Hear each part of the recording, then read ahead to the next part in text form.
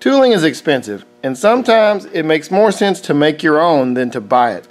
Today I'm going to be machining a 2 inch dimple in a piece of steel and I'm limited on tooling. Normally I would use a ball nose end mill and I would just plunge in and that would make my dimple. But the largest ball nose end mill I have is this half inch.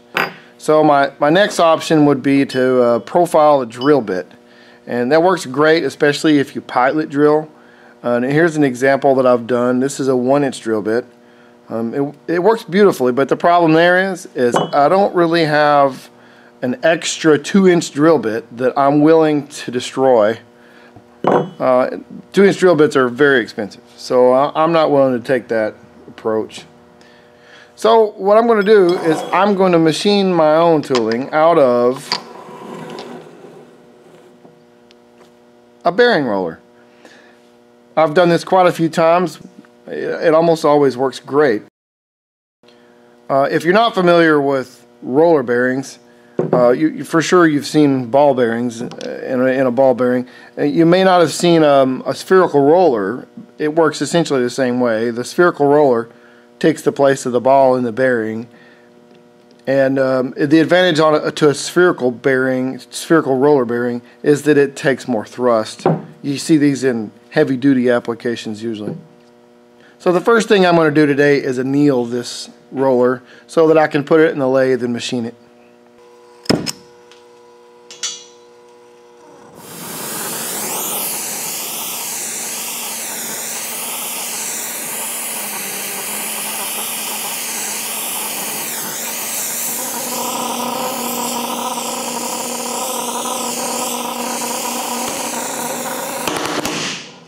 Okay, good enough.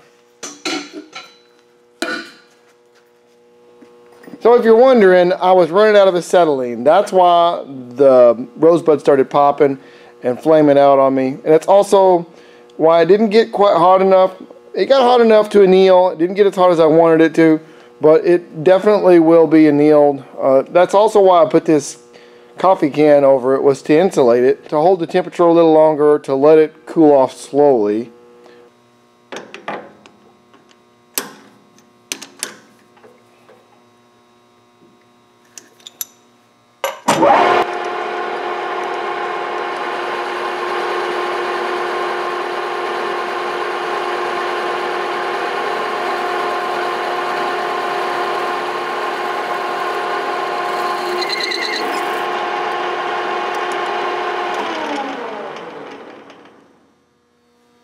So my first few cuts, I took really light passes because it's not really held very secure in the jaw. Um, you can maybe see in the camera, the only contact point on the jaw is this outer tooth.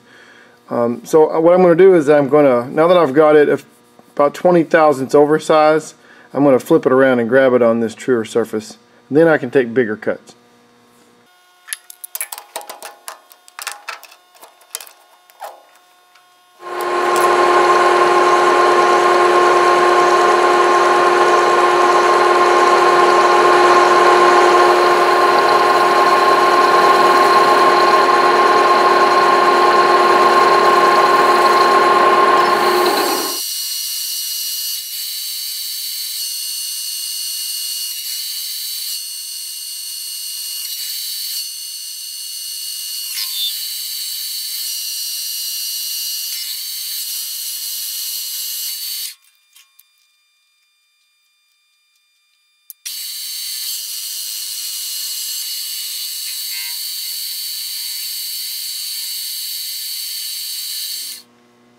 Now I'm just going to freehand this. I'm not going to be extremely accurate. I'm going to freehand most of it and then I'm going to use this radius gauge to check it and I'll probably use some abrasives to fine tune it.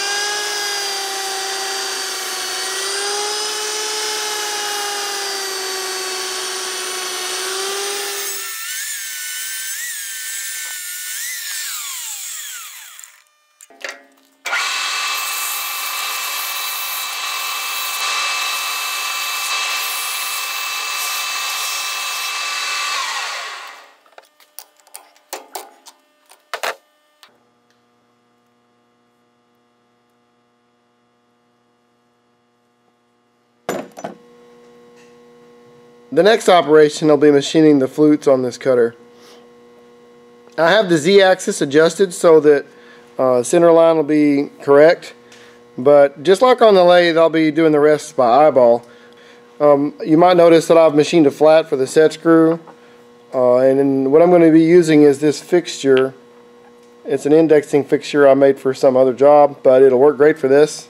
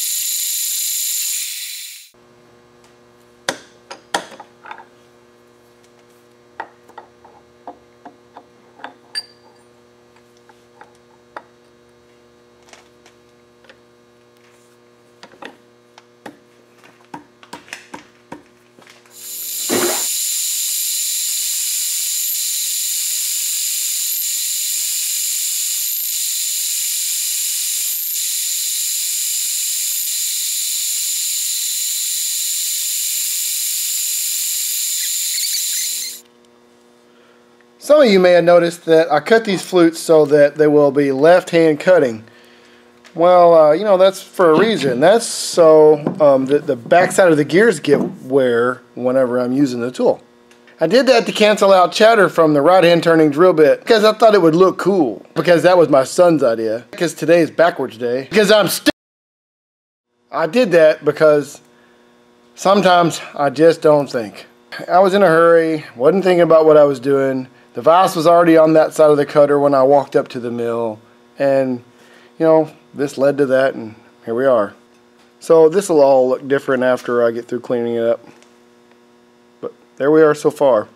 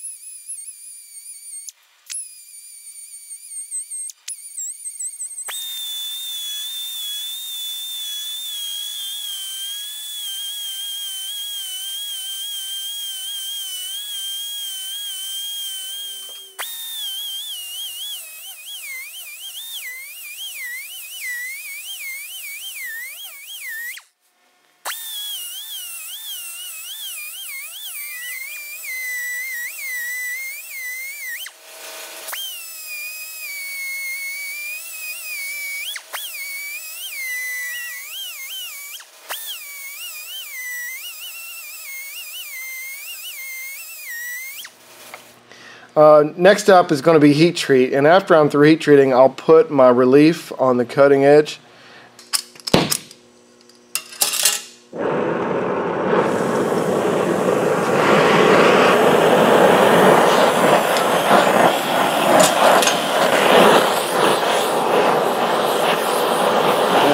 Trying to heat up the base and the sides and let that heat migrate to the cutting edge. I don't want to heat up the cutting edge first.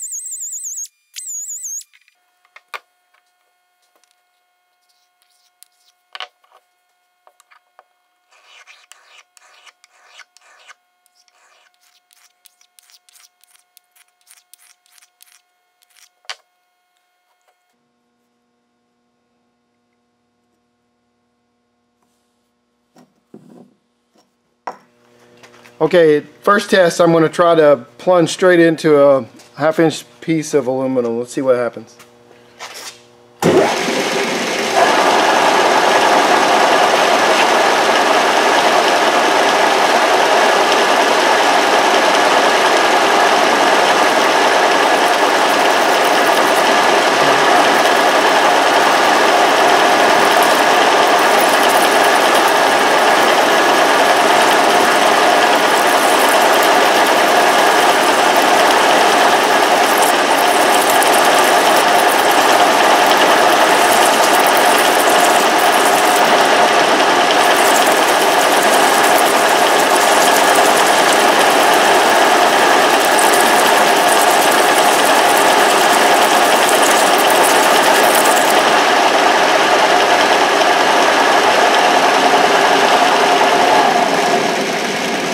Let's take a look at that.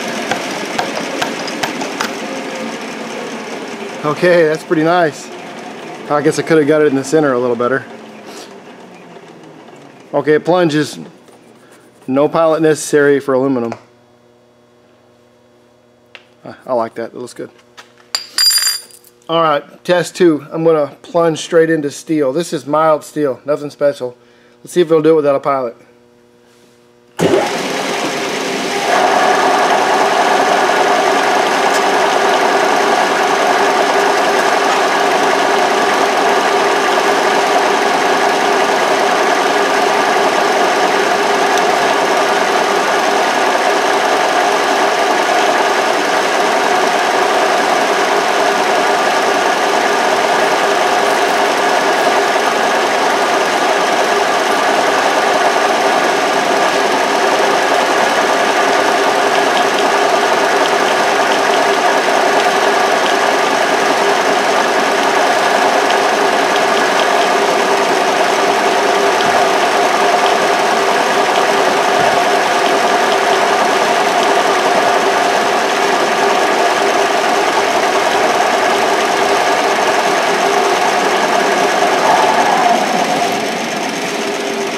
Um, the table on the mill was moving around.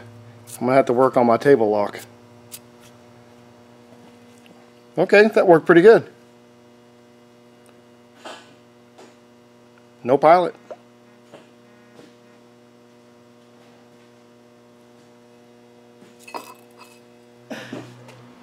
So if you'd like to see this tool in action and you're not already subscribed, hit the subscribe button and the bell notification and you'll get a chance to see it in one of my upcoming videos. Thanks for watching.